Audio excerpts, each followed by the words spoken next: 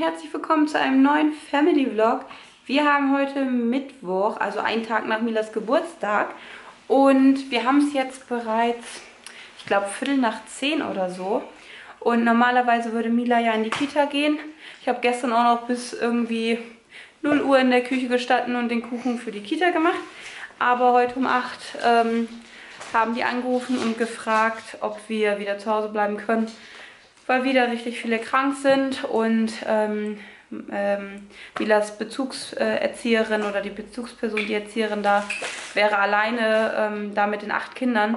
Und ist ja auch, ich kann das vollkommen verstehen, dass sie dann fragen, ähm, weil es muss ja nicht sein, dass ähm, dann auch die Kinder vielleicht, also gerade die Kleinen irgendwie dann zu kurz kommen und Mila ist ja noch nicht, wie gesagt, hundertprozentig eingewöhnt, dann kann ich das vollkommen nachvollziehen.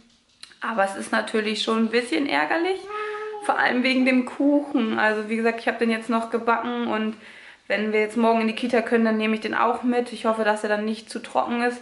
Äh, wenn wir Freitag erst hin können, dann würde ich wieder was anderes machen, weil ich glaube dann, ja, man, total ärgerlich irgendwie.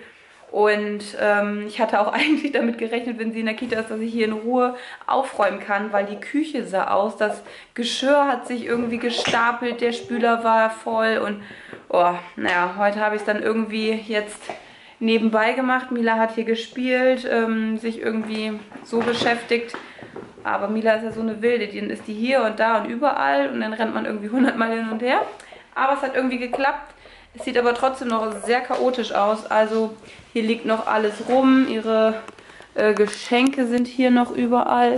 Hier sind noch äh, die Ballons. Da hinten die Deko, die hängt noch, wobei ich die ja so schön finde. Aber ähm, das mache ich dann nachher noch. Auf dem Tisch stehen noch einige Sachen. Und ja, wenn ich das nachher auf jeden Fall nochmal aufräumen, beziehungsweise gleich. Ich will auch gleich nochmal Wäsche anstellen. Ich will nämlich gerne die Bettwäsche und alles waschen damit wir das jetzt auch mal die Tage machen können. Ne, Schatzi? Oh, Vorsicht. Warte. Mensch. Wohin mit dir, ha? Und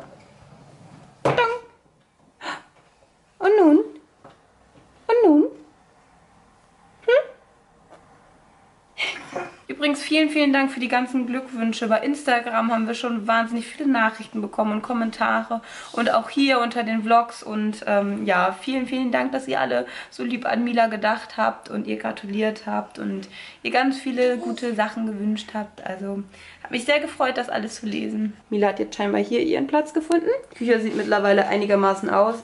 Also das Geschirr war echt bis oben hin. Hier stand alles voll. Und ja, so schade hier mit dem Kuchen. Ich habe so einen normalen Rührkuchen gemacht mit äh, Schokoglasur. Hui. Mit ein bisschen Goldstaub. Das ist einfach ähm, weiße Kuvertüre gewesen, die ich eingefärbt habe. Eigentlich sollte das noch mehr, also noch bunter sein, aber es hat dann doch nicht so geklappt und deswegen, ja, ist das jetzt das Ergebnis.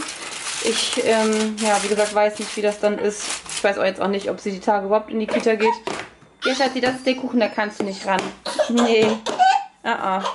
Und bevor Mila jetzt gleich Mittag isst und dann schläft, habe ich gedacht, ähm, zeigen wir euch mal eben ihre Geburtstagsgeschenke, weil das einige interessiert hat. Wobei ihr einiges auch schon gesehen habt, weil ich euch ja vorweg schon was von den Bestellungen gezeigt habe. Oder vom Geschenke einpacken. Und ähm, ja, aber dann zeige ich es euch jetzt nochmal im Gesamten. Das erste Geschenk habt ihr ja auch schon gesehen. Das kam von meiner Schwester. Das ist von Haber, dieser Holz... Ähm, Steckblumengarten, nee, Steckspielblumengarten, so heißt es. Und wir hatten es gerade schon ausgepackt, aber das werde ich erstmal noch einen Moment zurückstellen, ähm, weil sie da so direkt nichts mit anfangen kann und dann die Sachen nur annagt. Das finde ich dann ein bisschen zu schade. Ja, aber das interessiert dich, ne? Und sie hat sich in diesen kleinen Karton gesetzt. Ich hatte den auf, war kurz in der Küche, komme wieder und sie sitzt in diesem kleinen Mini-Karton. Wenn ich dran denke, blende ich euch mal ein Bild ein. Total verrückt. Dann kam, was heißt dann kam, es kam nicht an. Äh, Julians Eltern haben das äh, Bobbycar geschenkt. Ähm, wir hatten erst überlegt mit einem Laufrad. Es gibt ja auch welche für kleinere oder die ein bisschen stabiler sind, nicht umkippen, aber dafür ist sie auch einfach noch zu klein. Und äh, zu dem Bobbycar gab es dann auch hier diese Schiebestange, sodass wir sie dann halt schieben können. Und äh, von Julians Schwester gab es diese Schiebe Watschelente, da war sie gestern auch total begeistert von. Nat, nat, nat, nat. Nat, nat, nat, nat, nat.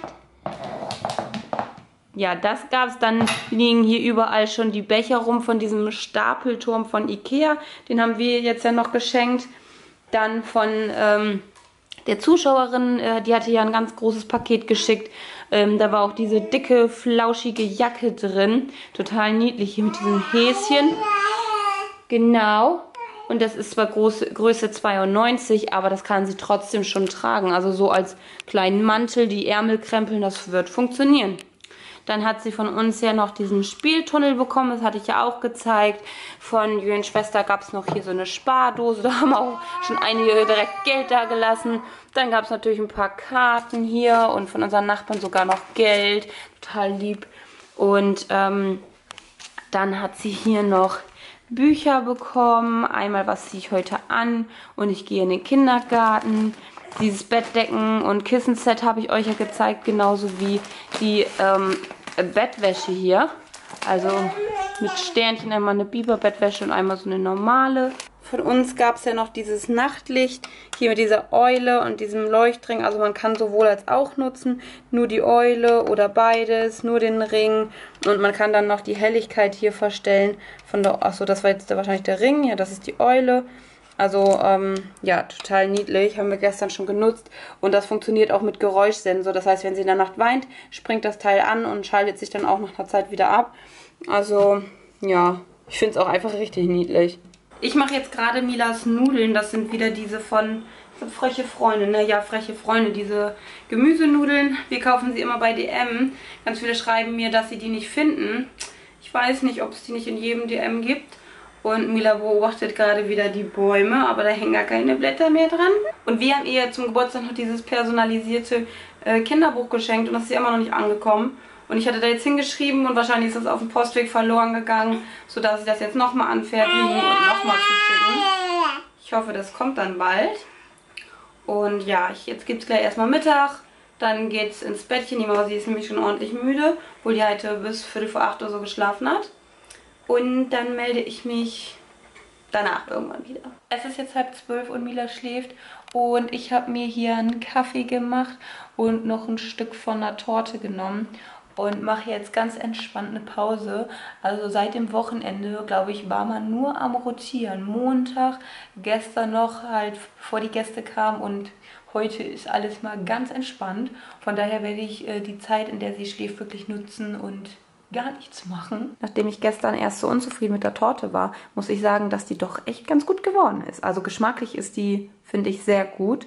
Und ich finde, die sieht so, also aufgeschnitten auch optisch ganz gut aus. Also ich bin nach wie vor der Meinung, das Frosting hätte schöner sein können. Und ich weiß nicht, ob ich das nächste Mal bei einer Torte nochmal so ein Frischkäse-Frosting nehmen würde. Oder eher dann Buttercreme oder irgendwas anderes.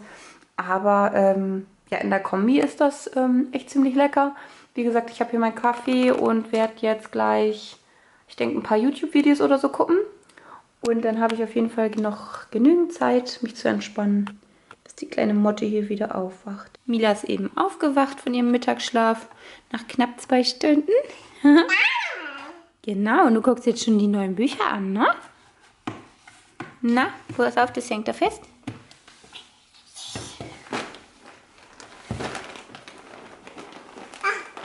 Ja, hast du es dir da jetzt gemütlich gemacht?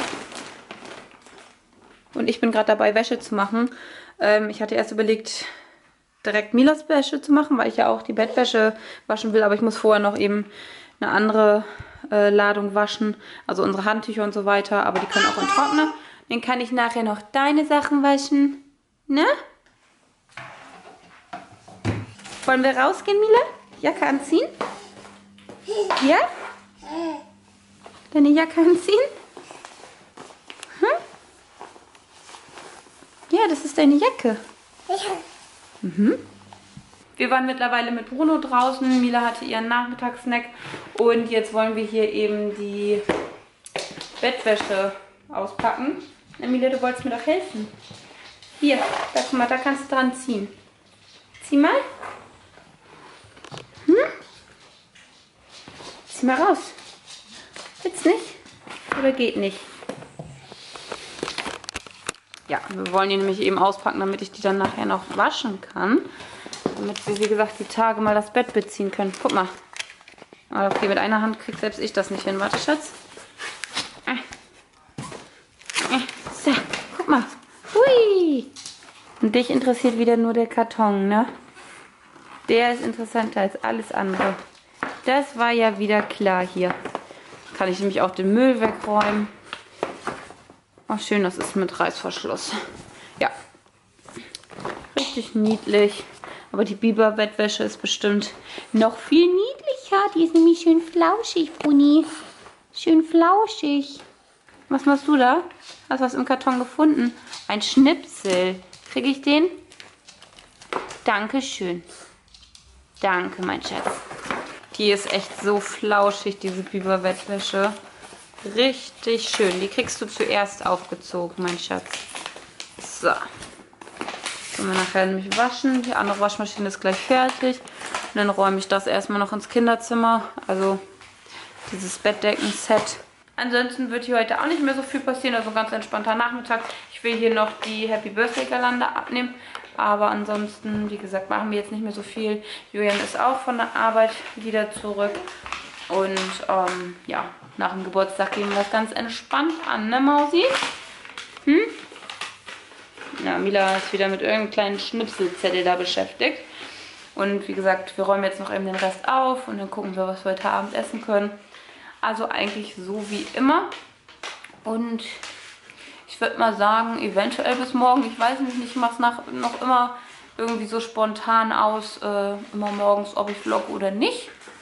Ich sag einfach bis zum nächsten Mal. Tschüss.